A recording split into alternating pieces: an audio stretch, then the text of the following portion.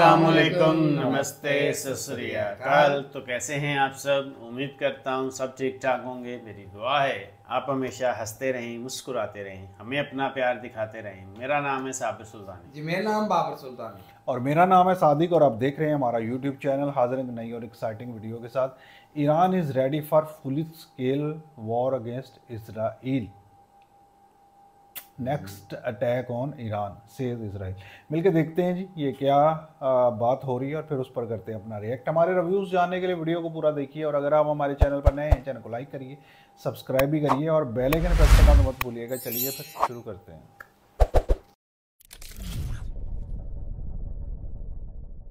नमस्कार welcome to study Q मैं हूँ Prashant Dhawan. Now recently Israel और ईरान की तरफ़ से बहुत ज़्यादा चिंताजनक रिपोर्ट सामने आ रही है. न्यूयॉर्क टाइम्स ने इस पर एक पूरा आर्टिकल पब्लिश किया और यह बताया कि ईरान एक फुल स्केल वॉर के लिए प्रिपेयर कर रहा है। ईरान की मिलिट्री इस वक्त अपना बजट, अपने ट्रूप्स इस तरीके से तैयार कर रही है कि अगर एक फुल स्केल मैसिव वॉर करनी हो अगेंस्ट इसराइल तो ये लोग कर पाए। ना अब यहाँ पे आप पूछोगे, मगर ईरान ऐसा क्यों कर रहा है? देखिए, खमेनी, जो आज के समय ईरान के सुप्रीम लीडर है इन्होंने ये कहा है कि ईरान की मिलिट्री बिल्कुल प्रिपेयर करे for a war against Israel मगर एक कंडीशन पर। कंडीशन ये होगी कि अगर इसराइल ने ईरान पे हमला किया किसी भी तरीके का, ये यहाँ पर कह रहे हैं कि किसी भी टाइप का बड़ा हमला अगर इसराइल करता है ऑन ईरान तो उस केस में ईरान बिल्कुल एक फुल स्केल वॉर स्टार्ट कर देगा। ये लोग कह रहे हैं कि एक हज़ार मिसाइल्स ये लोग बरसाएँगे ऑल ओवर इसराइल और अगर हम पूरी दुनिया की बात करें तो अगर ऐसा होता है, अगर जेनुअनली एक फुल स्केल वॉर हो जाती है बिटवीन ईरान एंड इसराइल मैं आपको बता दूँ ग्लोबल इकोनॉमी को इससे एक बहुत ही बड़ा झटका लगेगा। New York Times Wall Street Journal दुनिया का कोई भी मेजर न्यूज़ आउटलेट आप उठा के देख लीजिए सेम शब्द आपको हर जगह मिलेंगे। And all out war between Israel and Iran could entangle countries around the world इसमें बहुत सारे देश अपने आप और इन्वॉल्व हो जाएँगे। इस पर्टिकुलर केस में ईरान की तरफ़ से रशिया और चाइना और इसराइल की तरफ़ से आप समझ सकते हैं, बहुत सारे यूरोपियाई देश और इवन यूएसए और आगे लिखा है, इससे ग्लोबल इकोनॉमी को एक बहुत ही बड़ा थ्रेट आ जाएगा। ना जब ये ईरान इसराइल की कॉन्फ्लिक्ट स्टार्ट हुई थी, मैंने आपको एक वीडियो में बता दिया था कि आने वाले समय में कोई बड़ी बात नहीं है। दुनिया भर की स्टॉक मार्केट्स में आप एक बड़ा करेक्शन भी देखें इंडिया में हम ऑलरेडी देख चुके हैं कि नर्वसनेस बहुत ज़्यादा है।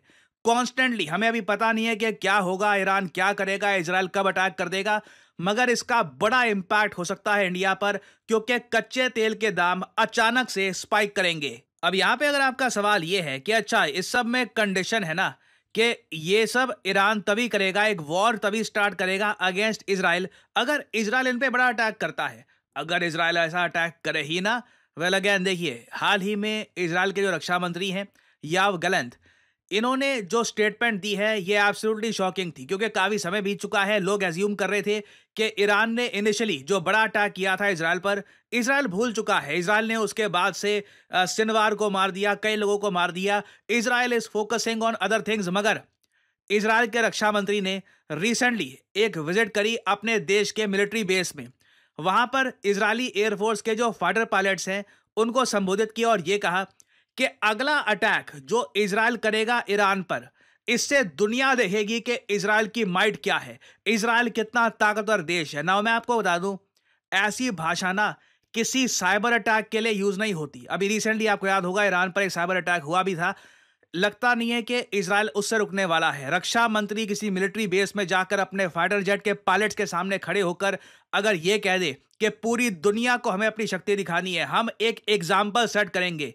ईरान को इतना डैमेज पहुंचाएँगे कि दुनिया समझ जाएगी कि दुनिया में एक नई वर्ल्ड पावर आ चुकी है। The country of Israel is rising अगर ये इनकी मानसिकता है ना तो आप समझ लीजिए इसराइल डेफिनेटली एक बड़ा अटैक प्लान कर रहा है। और जैसे ही इसराइल के डिफेंस चीफ की तरफ़ से स्टेटमेंट आई है, उसके बाद से हमने ये देखा है कि ईरान में खमेनी और वेरियस और लीडर्स पॉलिटिकल लीडर्स सब लोग ये कह रहे हैं कि अगर इसराइल ने एक भी अटैक कर दिया तो स्केल में there will be a full blown war और अगर यहाँ पे आपका सवाल यह है कि ऐसी स्टेटमेंट का मतलब क्या है? इसराइल किस टाइप का अटैक प्लान कर रहा है ऑन ईरान इसका मतलब क्या होता है कि we will make the world understand Israel's might ये स्टेटमेंट काफ़ी कंसर्निंग भी है। मैंने आपको पहले ही बताया था, आज के समय बेंजामिन नेतन्याहू सिर्फ़ ईरान को नहीं देख रहे, सिर्फ़ गाजा को नहीं देख रहे, सिर्फ़ लेबनान को नहीं देख रहे। ये एक ग्रेटर इसराइल बनाना चाहते हैं। ये चाहते हैं कि जिस तरीके से भारत है, जिस तरीके से रशिया है, जिस तरीके से चाइना है यूएस है जो टॉप फोर मिलिट्री पावर्स हैं, उनके बाद या फिर इन्हीं कंट्रीज़ में इसराइल का भी नाम शामिल हो। इसराइल के जो एम्बिशंस है ना, ये अभी के लिए सिर्फ़ आप कह लीजिए लिमिटेड नहीं है कि बस अपने आप को डिफेंड करना है। नाउ इसराइल इज़ एक्सपेंडिंग हम धीरे धीरे एक ऐसे युग की तरफ़ जा रहे हैं, जहाँ पर ग्रेटर इसराइल का कॉन्सेप्ट लगातार सामने आएगा। खैर, अगर हम बात करें अभी के लिए इसराइल क्या प्लान कर रहा है? देखिए रिपोर्ट्स ये क्लेम कर रही हैं कि इसराइल एक सीक्रेट, एक ऐसा ड्रोन, ऐसा स्टेल्थ ड्रोन जो दुनिया के सामने आया नहीं है। इसराइल चुपचाप ऐसा ड्रोन डेवलप कर रहा है, इसकी पूरी फ्लीट डेवलप कर रहा है। ये ड्रोन्स लॉन्च कर देगा इन ईरान। जो ये अपने फाइटर पायलट्स के सामने स्पीच दिया है ना, ये अपने आप पे सिंबॉलिक है कि आप लोग देश की रक्षा करिए, मगर अब आप देखेंगे कि बिना पायलट्स के हम लोग ईरान पर कितना डैमेज करेंगे। और इसराइल देखिए जो ड्रोन्स भेजेगा, ये स्टेल्थ ड्रोन्स ये कोई ऐसा नहीं है कि कामकाजी ड्रोन्स होंगे या फिर बस ये ड्रोन्स खुद ही टारगेट पे जाकर फट जाएँगे, सस्ते ड्रोन्स नहीं है। ये ड्रोन्स रेडार को चकमा देंगे S three hundred missile defence system को चकमा दे देंगे, ये क्लेम किया जा रहा है फ्रॉम इसराइली डिफेंस एक्सपर्ट्स और फिर ईरान की इंपॉर्टेंट मिलिट्री साइट्स को टारगेट करके वापस आएँगे। ईरान कुछ कर भी नहीं पाएगा इसराइल ज़ीरो रिस्क उठा रहा होगा, और ये सीक्रेट स्टेल ड्रोन्स ये ईरान को बैडली डैमेज कर देंगे। और बेंजामिन नेतन्याहू से काफ़ी बार जब पूछा जाता है ना कि ये इतने ज़्यादा अल्ट्रा अग्रेसिव क्यों हैं तो ये जवाब में कहते हैं कि आज के समय इसराइल है इनके हिसाब से, बेंजामिन नेतन्याहू के हिसाब से इसराइल सभ्यता है। और असभ्य लोग इसराइल पे अटैक कर रहे हैं तो नेतन्याहू के हिसाब से ये लोग सभ्यता को बचाने की कोशिश कर रहे हैं। नाउ इमानुअल माखरॉन ने रिसेंटली लेबनान देश को 108 मिलियन डॉलर की डोनेशन दी है। बाय द वे आपको यही बताना चाहिए इसराइल की सरकार लीगल एक्शन लेना चाहती है अगेंस्ट इमानुअल माखरॉन क्योंकि इन्होंने इसराइली कंपनियों को बैन कर दिया था from a defence expo Israel literally चाहता है कि या तो मैक्रोन जेल में जाए या फिर इन पर पेनल्टी लगे। तो ये सब बातें पता होने के बाद इमानुअल माखरॉन ने रिसेंटली एक बात कही कि इसराइल जो आज के समय कर रहा है ना ये बारबेरिज्म शो कर रहा है। इन मतलब ये कह रहे हैं कि एक बार को सिविलाइजेशन को बचाने के नाम पर ना, ये आसपास इतनी आग लगा रहे हैं कि वहाँ पर सभ्यता कई सालों तक नहीं उठ पाएगी, लोग बारबैरिक हो जाएँगे और इसराइल काफ़ी जगह खुद बारबेरिज्म दिखा रहा है अपनी सो कॉल्ड सभ्यता को बचाने के लिए। ये बात रिसेंटली इमानुअल माखरॉन ने कही है। बहुत ही रेयरली मैंने देखा है कि पश्चिमी दुनिया का कोई लीडर एक जी सेवन कंट्री का बड़ा लीडर ये स्टेटमेंट दे ओपनली अगेंस्ट इसराइल और इसका एक रीजन भी है। रिसेंटली देखिए गाजा से एक वीडियो सामने आई है इधर आप देख पाओगे ये। शॉकिंग वीडियो है। इधर आप देख पाओगे, सारे लोग पता है किसका वेट कर रहे हैं? ब्रेड का। सिंपल ब्रेड का। गाजा में आज के समय खाने को नहीं है। लोग भूखे मर रहे हैं, लोगों के परिवार है, ये माल नरिष्ट है।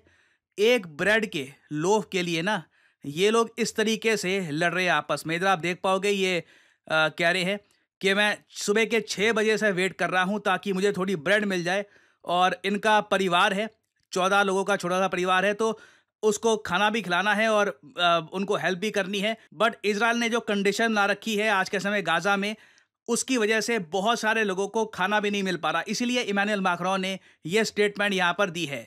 तो ऑनेस्टली आप अगर मुझसे पूछें आई एम वेरी कंसर्न आप अगर एक ऑनेस्ट एडवाइस चाहते हैं मुझसे तो ये सब स्टार्ट होने से पहले भी मैंने आपको बताया था कि प्रॉब्लम्स आएँगी। अगर इसराइल जो कह रहा है वैसा कर देता है, आप यकीन मानिए ह्यूमंगस लेवल का ग्लोबल इकोनॉमिक क्राइसिस आने वाला है। बी प्रिपेयर्ड फॉर दैट खैर, अभी इससे रिलेटेड अपडेट्स आएँगी अनफॉर्चुनेटली आएँगी। मैं आपके लिए बाद में अपडेटेड वीडियोस लाता रहूँगा। फाइनली आपसे मैं आप एक सवाल पूछूँगा, वो कौन सा एशियाई देश है जिसने हाल ही में अपनी चौथी न्यूक्लियर सबमरीन लॉन्च कर दी है, जिसका नाम है, जिसका कोड नेम है एस फोर ये हैं यहाँ पे आपकी ऑप्शंस, जापान, पाकिस्तान, इंडिया या फिर यूएई कमेंट सेक्शन में करिए उत्तर। जो लोग देंगे सही आंसर, उनकी कमेंट को मैं हार्ट दे दूँगा ताकि बाकी लोग समझ पाए कि सही उत्तर क्या है। जी तो व्यूवर्स, वीडियो हमने देखा, वीडियो था। कि इसराइल अगर अटैक करता है ईरान पर तो ईरान एक मुकम्मल जो जंग है उसको छेड़ेगा और पूरी तरह वो उसके लिए प्रिपेयर हो रहा है। और इसराइल ने भी कहा है कि अगला हमारा जो हमला है वो ईरान पर ही होने वाला है। और उन्होंने और दूसरी तरफ़ से खमीनी ने कहा कि अगर इसराइल हमला कर दे तो हम पूरी तरह से तैयार बैठे और फिर किस तरह से हमने इसको जंग को लड़ना है उसके लिए वो तैयारियाँ कर रहे हैं। न्यूयॉर्क टाइम हो ये सबने जो आर्टिकल इस पर लिखे हैं आ, आज देखें इस जंग को रोकने के लिए कोई काम नहीं कर रहा। कल भी हिजबुल्ला की तरफ़ से एक बड़ा अटैक किया गया इसराइल पर और उसमें कहते हैं कि इसराइल के अंदर जो है वो काफ़ी ज़्यादा उनके जो मज़ाइल हैं वो गिरे हैं या जिस चीज़ों पे रॉकेट हैं या जिस चीज़ पे उन्होंने हमला किया है तो उन्होंने उनके एयर बेसिस को या किसी चीज़ों को उन्होंने जो निशाना बनाया है तो उनको कई सारी चीज़ें उनके टारगेट पर पहुँची हैं या पहुँची है या नहीं पहुँची लेकिन इसका इम्पैक्ट क्या पड़ने वाला है ये हम देखने वाले आने वाले दिनों में अगर ये जंग होती है तो वाकई में दुनिया की जो इकॉनमी है वो बुरी तरह मुतासर होगी और चीज़ों के दाम बहुत ज़्यादा बढ़ेंगे। ऑयल प्राइसेस हाई हायर हो जाएँगी और तारीख की सबसे बड़ी महँगाई होने वाली है और इसमें सारी दुनिया के देश इसमें आने वाले हैं। अगर इस जंग को ना रोका गया तो इसके बहुत बुरे असरात पड़ने वाले हैं। लेकिन एक तरह से अगर हम देखते हैं कि इस सब जंग के पीछे, इस सब सुनहरियों के पीछे अगर ईरान है और इसराइल ईरान को टारगेट नहीं करता तो हम कहीं ना कहीं ये भी समझेंगे कि वो आसपास के देशों को तो खाली करवा रहा है करता जा रहा है लेकिन असल जो इसके पीछे मुहरकत हैं उन तक वो नहीं पहुँच रहा। तो इसलिए इसराइल भी अगर ईरान को टारगेट नहीं करता तो कहीं ना कहीं लगता है कि इसराइल डर रहा है इन सब चीज़ों के कि मुझकर ये जो जंग बड़ी मुसलत होगी तो क्या मैं उससे निपट पाऊँगा या नहीं निपट पाऊँगा?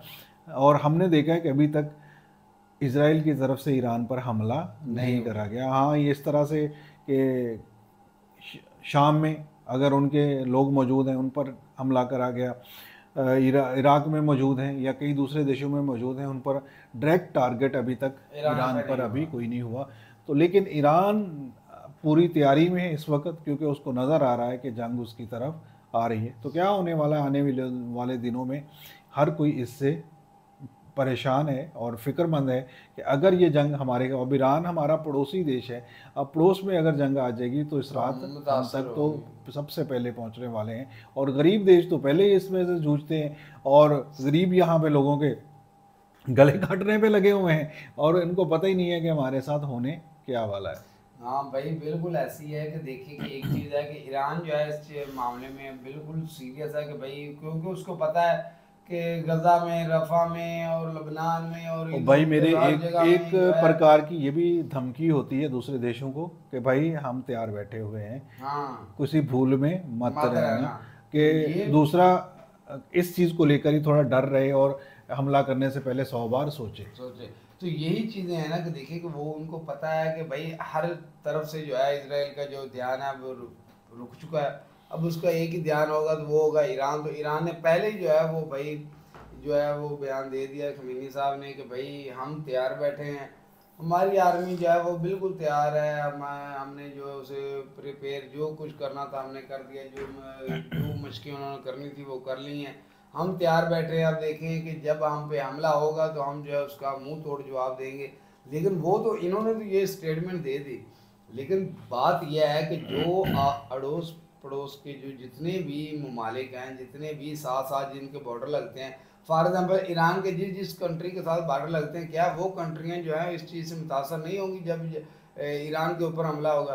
या ईरान जब वो पहले ही मुतासर है। वो मुतासर है और ज़्यादा मुतासर हो जाएगी। फॉर एग्ज़ाम्पल पाकिस्तान हम अपने मुल्क की बात कर लेते हैं कि पाकिस्तान है ईरान के साथ लग रहा। पाकिस्तान वैसे ही इस वक्त जो कंडीशन है जो हालात है महँगाई के जो अवाम के या जो मुल्की सूरत हाल है जो काम की सूरत हाल है मुशीद जिस तरीके से जो कुछ हो रहा है पहले का शिकार है और थोड़ा सा हो जाएगा तो जब जब ये जंग जंग ऐसे हमले होंगे ये दोनों ममालिक आपस में ये हमला करेंगे तो ये और कितना मुतासर होगा? या महँगाई और कितनी बढ़ेगी? अभी तो लोगों की चीखें निकल रही हैं बाद में मेरे ख्याल से लोग जो है वो वैसे खुदकुशियाँ करनी शुरू कर देंगे जितनी महँगाई हो जाएगी।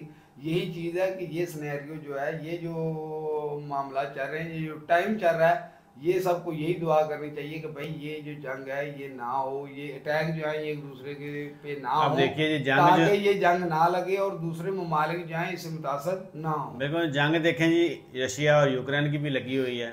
उससे क्या हुआ? महँगाई हुई अब फिर दोबारा से वो चीज़ें आ रही हैं जंग तो अभी तक भी लगी हुई है। लगी हुई है। तो जंगों से एक दफ़ा इफ़ेक्ट तो पूरी दुनिया में पड़ता है, पड़ता है। लेकिन आम आदमी की ज़िंदगी पर ही पड़ता है। लेकिन जो खिते हों ही हमेशा से जंग के अंदर हिस्सा बने हुए तो फिर उनके ऊपर क्या फ़र्क पड़ेगा? ईरान को इराक को ले लीजिए शाम को ले लीजिए। इन चीज़ों में हर वक्त जो वहाँ पे जंगी लगी हुई है तो उनके हालात आप देख सकते हैं तो वो सारे के सारे मुल्क तबाह पहले ही हो चुके हैं। और अगर ऐसे में ये दोबारा से ये जंग होती है तो उन पर कोई फ़र्क पड़ने वाला नहीं है। और अगर आप थोड़ा सा पीछे सर्च करें ये जो खामनाई साहब का जो तीस साल या चालीस साल दौर है अगर इस पर अगर आप गौर करते हैं तो इसमें आप देखेंगे कि ईरान ने तो कई बार जो है उन पर हमले किए हैं डायरेक्टली लेकिन इसराइल ने कभी भी ईरान के ऊपर डायरेक्ट हमला नहीं नहीं किया। है। और हाँ उन्होंने ये कर दिया जी हमने ईरान का सदर मार दिया जी हमने ईरान का वो फलाना जो जनरल है वो मार दिया जी हमने वो फलाना मार दिया है। लेकिन हमने जो है ना डायरेक्ट हमला नहीं किया वो हमारे खुफिया एजेंसियों ने जो है ना अंदरों अंदर ही सारा काम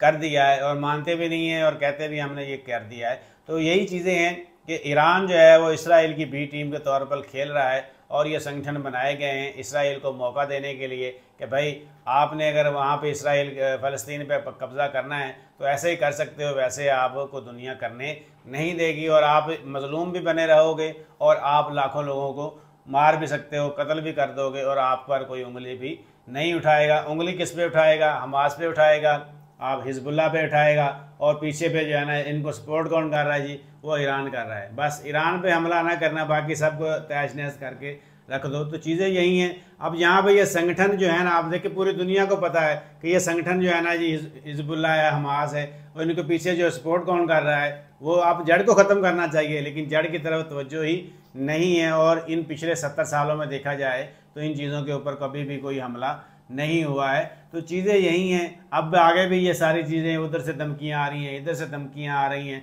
और दुनिया जो है ना वो वर्ल्ड वॉर थ्री की तरफ़ चले जाएगी और जो जंग मुसलत करने वाले हैं वो दुनिया को डरा रहे हैं कि भाई अब तो वर्ल्ड वॉर थ्री शुरू हुई हुई ताकि उनका असला बिकता रहे वो भी असला खरीदता रहे वो भी असला खरीदता रहे उनका कारोबार चलता रहे। तो ये आलमी सतह के ऊपर जो जो सियासत हो रही है ये कोई और अलग लेवल पे ही रही आम आदमी के बस की ये बात नहीं है। लेकिन दुनिया को अमन की तरफ़ आना चाहिए, सबको होश के नाखून लेने चाहिए, ईरान को भी लेने चाहिए।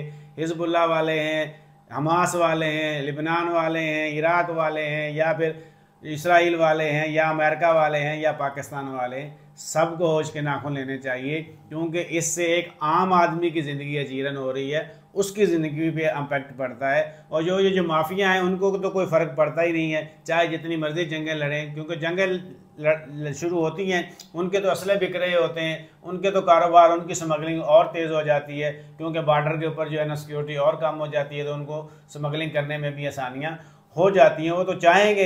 एक मुल्क में नहीं, हर मुल्क के बॉर्डर के ऊपर जो जंग छिड़ी रहे और हमें आने जाने के लिए आसानी हो तो चीज़ें यही हैं। इन माफियाज का रास्ता रोकना चाहिए। ये जितने भी दहशतगर्द संगठन हैं, चाहे वो मुसलमानों के हैं या किसी और के हैं, जिन जिन के भी हैं, सबको मिलजुल कर इनके खात्मे के लिए काम करना चाहिए, ताकि दुनिया में अमन कायम हो सके। अगर अमन ही नहीं रहेगा तो फिर दुनिया कायम भी नहीं रह सकती तो ये चीज़ें बिल्कुल जी अभी के लिए तो संगठन हमने देखा है कि सिर्फ़ मुसलमान के देशों में ही है और किसी ऐसे देश में हमें नज़र नहीं नहीं आता। उससे परेशान होने वाले देश हैं वो इनके खिलाफ फिर मिलजुल कर ही कार्रवाई करते हुए नज़र आते हैं और इसराइल कर भी रहा है। और देखिए अभी हम समझ रहे थे कि सीज़ फायर हो जाएगा लबनान वालों की तरफ़ और क्योंकि वो सीरियसली कोशिश कर रहे हैं। लेकिन साथ ही साथ अगर उन पर इस प्रकार हमले भी करे जाएँगे तो ये किस तरह से रोक पाएगा ये कोई भी नहीं सोच सकता। तो ईरान पे होने वाला हमला डेफिनेटली दुनिया को इम्पेक्ट करेगा दुनिया पर उसका असर पड़ेगा और क्या पड़ेगा ये तो टाइम ही बता सकता है। आई होप सो ये वीडियो अच्छा लगे तो लाइक करिए चैनल को सब्सक्राइब करिए। मिलेगी एक और वीडियो में तब तक के लिए अल्लाह अल्लाह हाफिज़।